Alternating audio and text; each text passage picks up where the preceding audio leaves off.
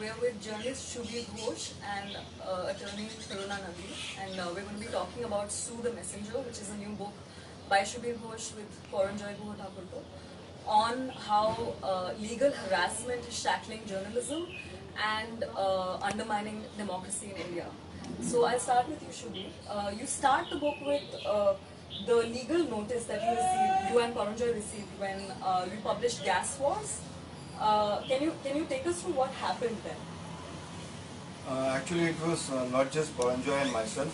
Uh, it was also sent to our portal, uh, Jyotirmoy Chaudhary. It was also sent to the retailers, Amazon, etc.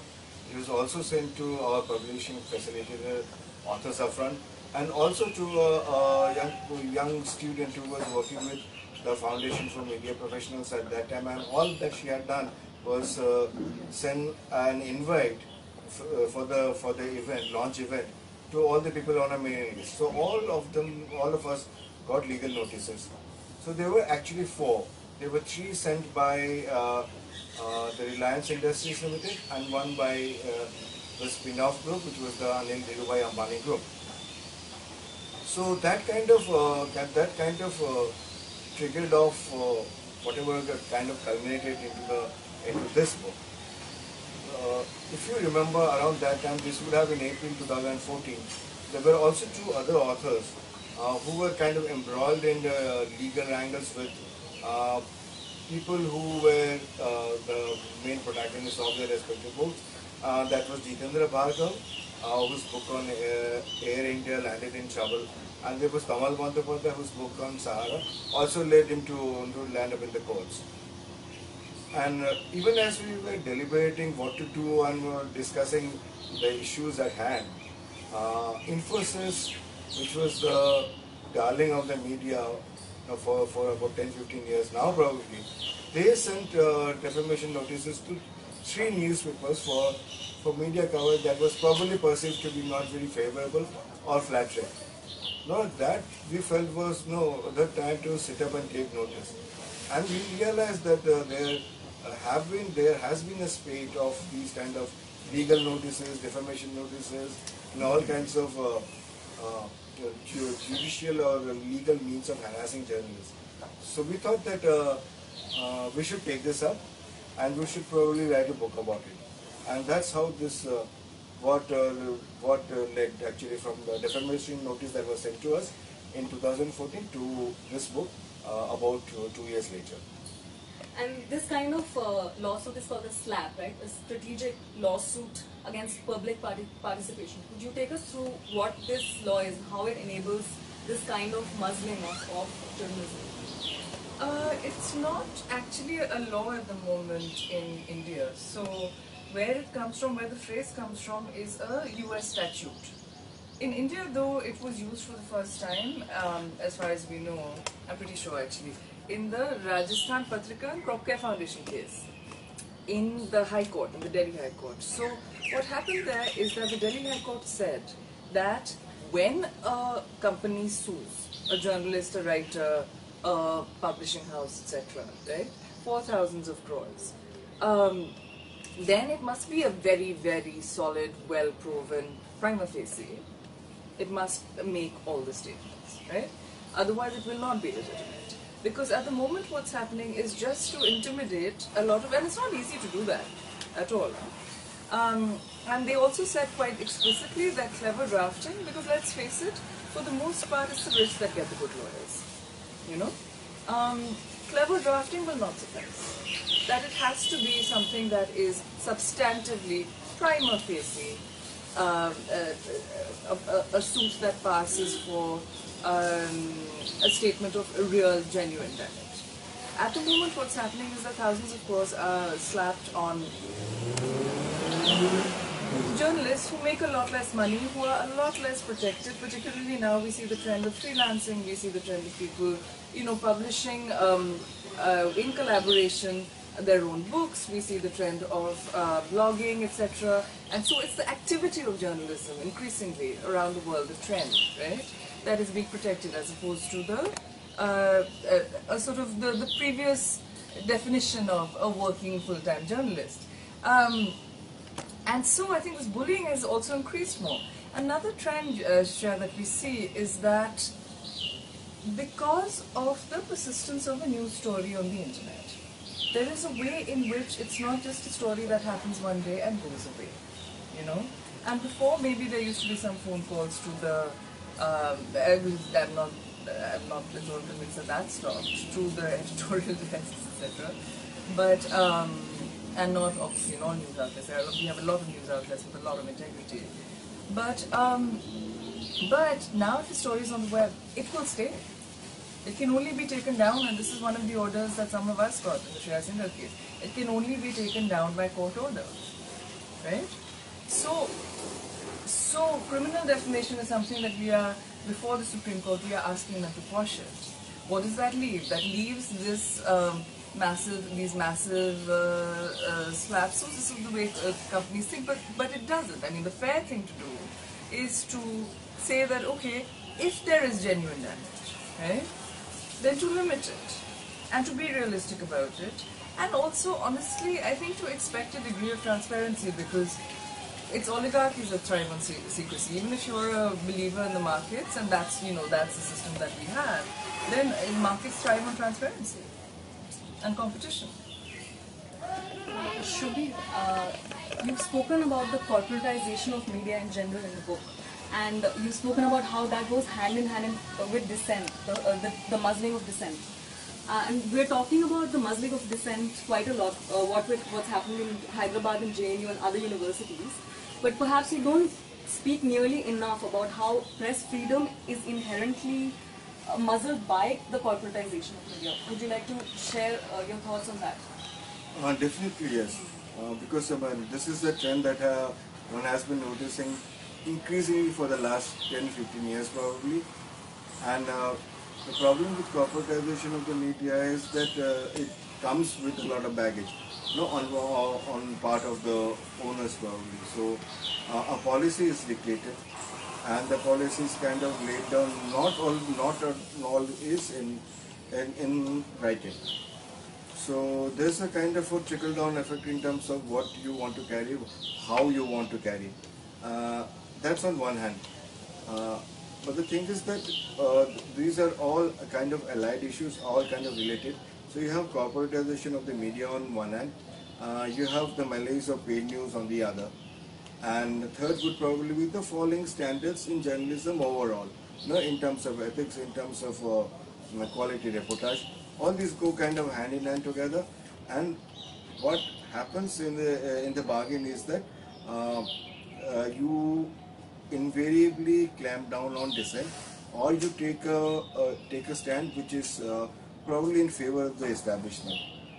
So does that answer your question in that sense? No, all these go hand in hand. All these go hand in hand. So uh, maybe we can talk about a real life example that you have spoken about in the book, which is uh, what you call the dirty dozen the, of the Dhirubhai Ambani group that were doing that were on. Uh, you say they were on a payroll, right? Could you share a little bit more? No, actually, that is uh, that is not we are saying. That is what Hamish McDonald had reported, uh, based on his experiences and what he had found out in Bombay uh, in the early 1990s. So apparently, there were this, I mean, this was just a, a nomenclature. Probably you don't even know whether they were 12 or they were, maybe they were. Uh, they, it was a baker's dozen probably. So, but but it's like, it was like very clear that there were journalists who were on the payroll of uh, corporates, and uh, mm, uh, it's mentioned there in the extract also that this these people were the pioneers of what would call envelope journalism, and it's nothing uh, kind of new to India or kind of interesting today. It's a problem all over the world. And this was they were pioneers in the sense that uh, that's when it kind of the rot kind of uh, you know kind of started taking roots. And you uh, kind of overlay that with the corporatization of the media that kind of more or less started uh, taking roots also in the say the early uh, very early 90s so that's one. Second is the corporate of media. And third was uh, probably the destroying of the market by the Times of India, uh, which slashed its race just because it wanted to compete with the Hindustan Times here in, in Delhi, slashed the prices to one rupee, and uh, the last 25 years, uh, the, the price of an average newspaper has just gone up from 2 rupees to 5 rupees. You really can't expect good, you know, good journalism to come out of it. Why? I'll tell you. Because the uh, the buyer is not actually a consumer. Because it's kind of heavily subsidized by advertisers. So now if advertisers pour in all the money, it's quite likely that they are going to call the shots. Now we as consumers, I assume, let's assume that I am not a journalist. If I'm a buyer of a newspaper, can I really tell the newspapers that no, uh, um, no, please give me quality journalism. I want quality journalism because I'm not willing to pay for it probably. An average newspaper, if it is ad free, if it is, uh, uh, it, if it uh, in, uh, wants to bring out uh, very good quality reportage, an average newspaper is going to cost you 75 rupees, according to me. Now, are you as a as a citizen, as a consumer, as a reader, are you willing to shell out 75 rupees every day for a newspaper? No, most people are really going to run away the moment I say that. It has happened with me. I have such asked such questions, and they would look here, there, everywhere, but at me, because nobody is going to pay for quality journalism. Now, who are going to rest the blame on? Seriously. I don't know, Subir. I think I'm not sure that that's necessary. I mean, I see that you're stating the problem, right? But I'm not sure the solution is necessarily wiping all all advertising and only depending on It- it- it subscriptions is because not. as you say that it would be impossible right? I mean i think that there is a way in which if you deal with cross ownership across industries at the moment for example reliance owns about um, at last count i mean the last time i actually counted was a year and a half ago so i'm, sure, I'm pretty sure it's increased since then. Um, one and a half well, about 14 uh, media outlets across across media right? Um, and if you also own, if you're also one of the largest conglomerates in the world, if you also own serious oil and gas interests, if you also own, I mean, there's a whole variety. Um, clearly, there's conflict of interest, you know. However, if there are ways in which we can deal with cross ownership, if there are ways in which we can deal with monopolist media and you know oligopolist media concentrations of power, um, if there's a lot more transparency, if very significantly there's self-regulation, you know, in the media, um, I think that there is a way in which, um, on the one hand, and also the separation of you know advertising and, and editorial right? So that's a very fundamental precept. And uh, you know ways in which owners don't influence the uh, the content then i think on the one hand there's a way in which it's possible that that editorial independence of course would be fostered but also that courts would feel less compelled to intervene because there are effective alternative uh, remedies that fit much better with our constitution you know? Um, yeah Speaking of uh, transparency, Yeah. uh, a lot of the lawsuits, as you say, uh, speak of uh, damage to the reputation, Yeah. uh, and there's a question of you know the the public goodwill being eroded. So, uh, how does that interfere with the public's right to know when a company is saying, no, you can't critique us because that's actually making our customers think less of us. So, how legally how does that impede upon our as consumers, as the general public, our right to know what is actually going on with the company's practices? So, a few things. Firstly, the a complete defense to civil defamation is truth, right? Um, for criminal defamation, it's truth in the, but it must be in the public interest. However, truth is a complete defense. Um, in so, therefore, if something is true, then firstly, and if, if, if the company is not able to demonstrate at the outset that it's prima facie not true, then for somebody to have to go through a litigation of 20 years, suits take the longest time. Slaps tend to be suits, civil suits, right? Writ petitions are much shorter; they take about two years. Um, so for so for a journalist to have to go have the sort of Damocles of you know hundreds of crores of damages hanging over your head for a period of 20 years is is has a massive chilling effect, right? And also when we look at some of the cases that uh, Subir and Poncho have so excellently laid out, you know, they deal with things like they deal with things that are squarely within the public interest. They deal with corruption. they deal with environmental degradation, they deal with pesticides and the use of pesticides and um, so of course free speech is never an absolute right. Privacy is never an absolute right. The right to reputation is not an absolute right. So all of these interests have to be balanced. At the moment where the balance is is is is not constitutional according to me.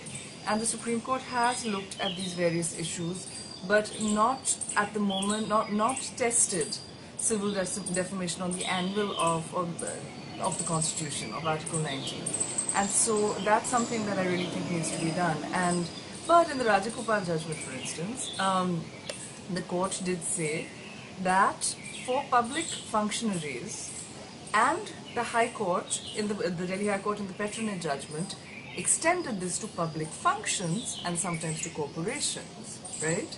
Um, so we do have law now saying that there must be either, and this is very important for journalists to know, and you know if you're a freelancer as well, that there must be either actual malice, that is, I know that um, what I'm doing is wrong and I'm doing it anyway, or reckless disregard for the truth, you know, that you just can't be bothered, chapia. So that is something that I think needs to be used a lot more, and also when, if you are sued with a slap, it is extremely important that you ask your lawyer to go under Order 7, Rule 11 at the outset to file an application to try and get that suit dismissed at the outset. Um, because, and this is the this is jurisprudence of uh, the new jurisprudence of the Delhi High Court with some um, uh, that was in a case where uh, the Crop Care Foundation sued the Rajasthan Patrika, and the Crop Care Foundation is a repeated uh, uh, offender in terms of bringing strategic lawsuits against public participation. Um, but it doesn't even, it's not even always lawsuits. You say that, you know, injunctions are often enough to intimidate publishers. You know, when we're talking about... In a uh, legal notice? Yeah. So, uh, yeah, legal notices. So, Shubhi, uh, when, uh, you know, you self-published both books, and you speak about Harper Collins, for example, in one case, uh, pulping Hamish McDonald's books, and, uh, you know, not being able to face the, the, the, what they say is the long duration of the lawsuit, the expenses involved. So, what is the role of publishers here? Are they are they pulping books too too quickly? Are they not standing by free speech as much as they should be, considering that they are speaking about free speech on other public fora themselves? Uh, it's uh, not really, you can't uh, look at this as an open and shut case actually. Uh, there are certain things to be kept in mind. One, it's a fact that publishers are here to make money, they are here to do business. Are, their, no, their main reason for existence is not supporting free speech or anything. They are, by and large, most of them. Second is, uh, even if you are like very honest and very dignified, etc., uh, you can't disregard the fact that publishers are, are soft targets. They're, they're soft targets. I mean, they can't be at, attacked physically. Many of these publishers you know, work with five, six people in their you know, editorial offices, etc. They're soft, soft targets. Uh, now, taking these two together, uh, I would definitely say that uh, publishers, by and large, probably have not been standing by their authors. Uh, they are actually the first to kind of uh, uh, buckle under pressure. The example that you gave of uh, HarperCollins pulping, pulping Hamish McDonald's book, there's like the story has been laid out very clear. And there was an injunction, it was never vacated. It was never vacated. So it was basically no, you, people talk about the Polyester Prince being banned in India. It was not banned. It was really not banned. Of course, it's uh, not available publicly. Uh, that's one thing. Uh, uh, there were other cases. Uh, other cases also. There was uh, uh, another example of I think Bloomsbury. Bloomsbury. Yeah, Bloomsbury. Bloomsbury. Uh, they kind of uh, didn't want to go in with the, uh, didn't want to kind of, uh, it was, it, the books had been printed and all, technically it had been published, but they did, didn't want their books to be in the, in the market probably because they feared uh, backlash, maybe a physical backlash. They feared a, a legal backlash, and uh, I think it becomes increasingly clear that uh, they are either either they lack the spine, or they don't have the wherewithal to kind of uh, uh, take on a case and fight it for years together, and uh, many of these authors you will find the negotiations uh, with the aggrieved parties have been carried on by the authors themselves. The Tamal Bandyopadhyay's case, in fact, he was the one who negotiated this very tough team of negotiators from Sahara, which was led by Subrata, Subrata Roy himself. Ah, now this was the this was the team of negotiators who had negotiated with you know equally tough teams from RBI, from SEBI, etc. And now here was a man you know fighting this group all by himself, all by himself. And uh, uh, the your sympathies who should probably be the be with the author than the publisher, who is probably the first to flee. And in, in case of the Sahara book particularly, there was an extraordinary uh, disclaimer that he was forced to insert, which was by the company itself, uh, which said that uh, basically that The content is defamatory. That's Yes, yes, but the thing is, now this is, I mean, if you have uh, read the uh, the other extract that was carried to school, I think on, on the, uh, about Sahara, uh, I asked this question to Tamal very, very clearly. I mean, doesn't kind of take away credit from your book. No, then he said that no, it, the decision to do that was actually the publishers. He said, you know, let's carry it. It's probably work work more in our favor than theirs. Did And- it? Huh. But did it in fact work? No, In terms I- of sales, nobody- in terms of no, in terms of sales, no, that's what Tamal said. That There happened that he has he has seen people at airports, etc., buying the book after looking at the disclaimer. yeah. After It's looking at in the, the book, disclaimer. yeah. it's the same thing And, with the SR story. and, and even Tamal, uh, Tamal added in and uh, uh, added to say this that uh, has it actually helped to you know, put forward the organization's cause? So I really have no idea, which probably means that it probably did. And uh, Subrata Roy has been in jail since then anyway for the last two years. And has it helped Sahara with the disclaimer? I, I personally don't think so. Uh, and actually, coming back to the publishers, what do you think legally is preventing them? Because it's not like publishers are paupers, they do have considerable financial strength. Uh, is it the fact that lower courts are generally not uh, giving verdicts in the favor of free speech? Is it the fact that uh, the, the case is likely to go to the Supreme Court after many, many years and very expensive legal proceedings? What is happening that's causing publishers to run so, so fast? you know, publishers have a lot less money in general than um, the corporates that bring slaps, right? So every and also lawyers get paid better than journalists, right? A lot better. So the way it works then is that for every case that you're fighting, you could have done a, a slew of investigative stories, you know. Um, so of course, many of us are doing a lot of pro bono work, but it's a drop in the ocean. So what really needs to happen, I think, is that um, I think in terms of the media really coming together and getting an effective self-regulation regime in place, whether it's statute-based, whether it's, I mean, I don't know if it would work if it was voluntary. It might. You know, England has a sort of new system that is that is a bit iffy, but it's something that uh, at the moment I think CSTS is looking at uh, uh, proposing a self-regulation regime and looking at Ofcom, looking at other uh, regulatory mechanisms. So that's one thing. But I also think that if the media is coming together, then to also look at legal support, right? To look at legal support, to look at uh, somebody yesterday at uh, uh, at the launch suggested uh, also a support group called Suits. What was it? Sue Club, the Sue Club. the, the Suits Club. You know, not just Suits, the TV show, the Suits Club. and he um, had a valid point there. well, absolutely, it's very stressful. So if people can come together and support each other, I think. But I think legal defense is extremely important. Why do publishers fold?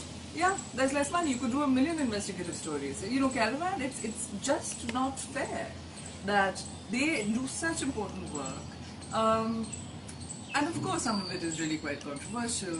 But to be sued for then hundreds of crores that you then have to keep going to Ahmedabad for for no reason. Why is it Ahmedabad? You know.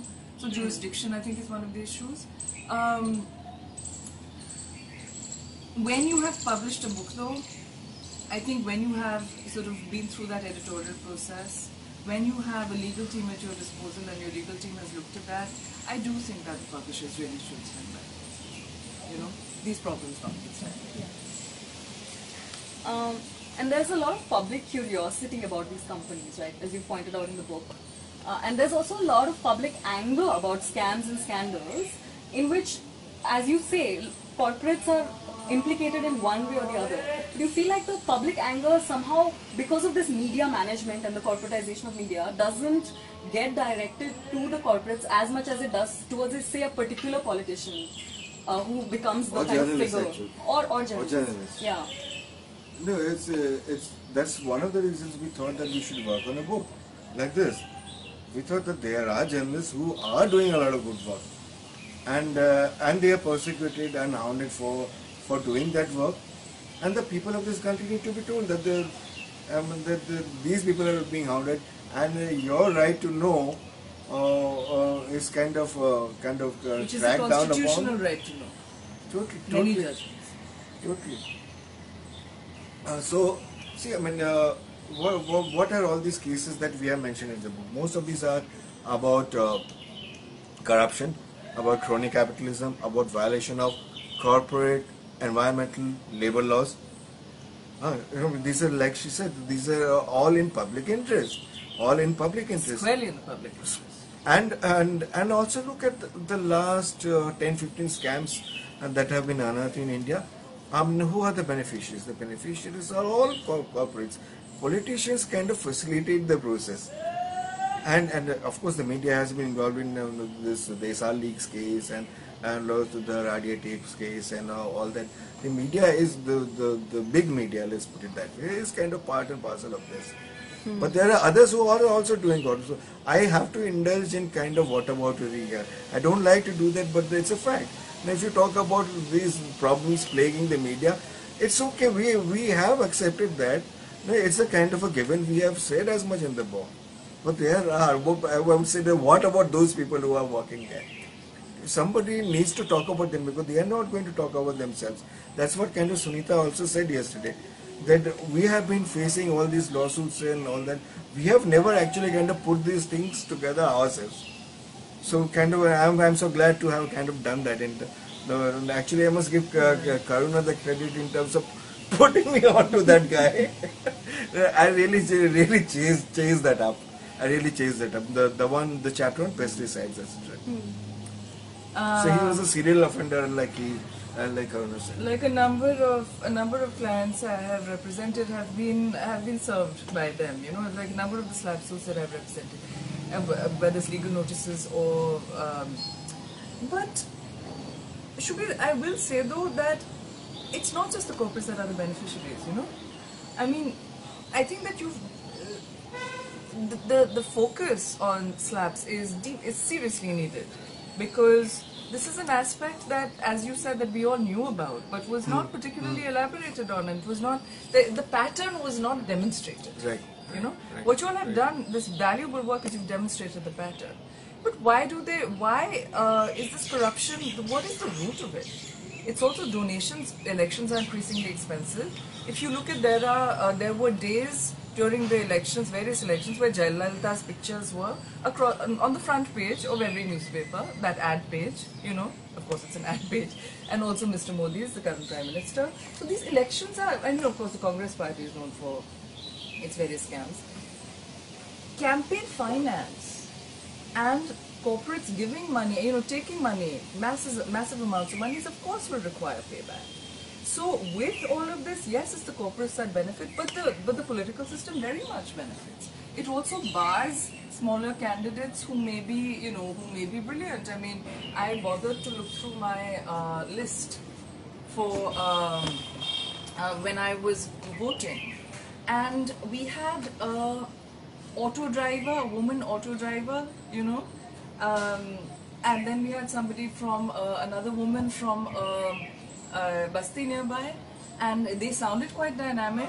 And there were one, so then I googled them, and there was one article on one person, one article on the other, um, but not a proper campaign. So they didn't have a hope in them.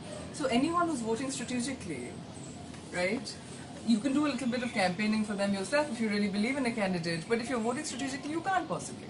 So this nexus, I mean, I think the jo- the work you have done is so valuable, and that book is so valuable because it establishes one aspect of what is in fact a nexus that needs breaking.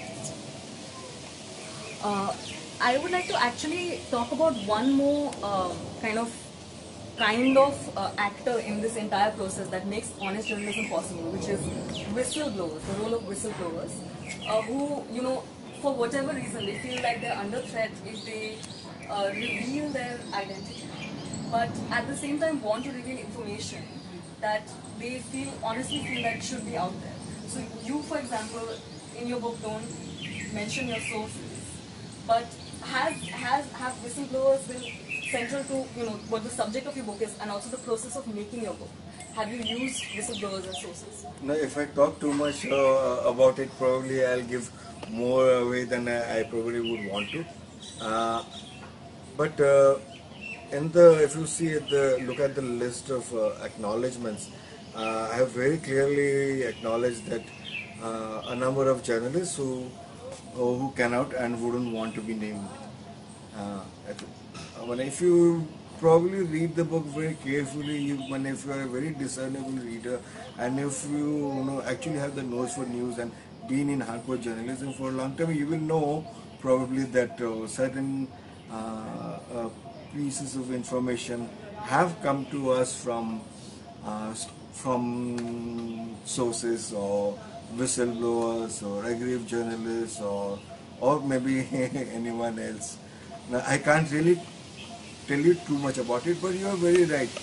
Uh, uh, how do you do investigative journalism? You you probably probably ferret it out yourself. You probably get it through legal means, that is RTI, and you also probably get it from someone who is probably within the system, uh, a, a whistleblower. Uh, now that person can be uh, a disgruntled uh, employee or anyone, or maybe a very honest citizen who feels that certain um, certain information needs to be in the public domain. So that's how you actually. You know, these are the basic uh, elements to which are critical to investigative journalism. But uh, uh, I, am not too sure how far that uh, that bill is what the Whistleblowers Act. I'm I'm not pers- personally that conversant with whatever has been happening. Maybe you can talk about it. It's a beginning, but the thing is that at the moment uh, the government is disputing privacy as a fundamental right. So there is a way in which surveillance, government surveillance, given the, uh, and I'm only saying that this is in very, very few instances, but even one instance or few instances is a serious problem, right? Um, but if you look at uh, who Greenpeace is being attacked by, it's being attacked by Essar as well as by the government. If you look at other groups that attacked the Adani uh, project in the Great Barrier Reef, that affected the Great Barrier Reef in Queensland, um, the um, you know the government had those organizations um, was attacking those organizations. So there is a connection, I think, and so given widespread and intense government surveillance, given that the government is disputing the right to privacy, given that. Um, I would I would worry, you know, for confidential sources, and I also think that um, very few people are familiar with Tor, with other types of effective encryption, and even if you have encrypted at your end, um, the person at the other end very frequently has, uh, you know, just cannot be persuaded to do it. So. Uh, so, so honestly, I think you know those who are looking at this kind of evidence, who are looking to disclose things in the public interest, who are looking to keep their identities and their information confidential, um, need to get familiar with these tools. And the, of course, the thing to remember is that at any point, uh, because of the idea, it also creates the illusion of privacy to remember that because at any point um, under the IT Act, um, the you know you can be asked to decrypt. So there is also that. I mean, I have a lawyer friend who flies to Malaysia, who flies just for meetings, you know, because he doesn't feel that he can talk to people over phone. Wow. Yeah. We have an audience question uh, for the two of you. Um, this is by Shovik Dey, and he asks if public uh, fundraising can be a viable alternative to corporate ownership. Viable or not, uh, it always it remains to be seen. Uh, uh, I mean, some that is something that I alluded to uh, earlier, though, when we were talking about uh, 75 European years.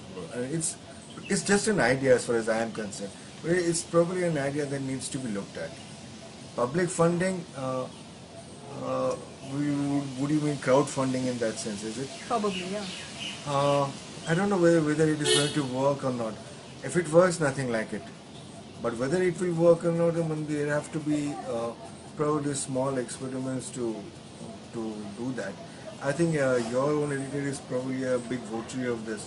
No, he has been publicly talking about it because that's probably one of the ways out. That's probably one of the ways out. One is probably crowdfunding, the other is probably uh, entirely subscription based.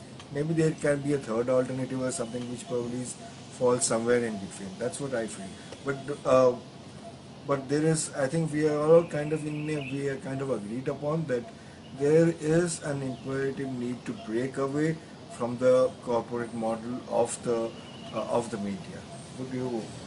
Or I would say that there are there are people who uh, want to be in the media business and are all right with not influencing content. and that's also true. if the if the ownership is, as we were speaking earlier, is regulated sufficiently, and I mean, potentially it's not ideal, but potentially that could be. True. We are seeing this trend of um, like with your own, like with the Wire, we are seeing this trend of editors now saying, look, we've had enough, and we may have our small outfits, but we will we will start our own.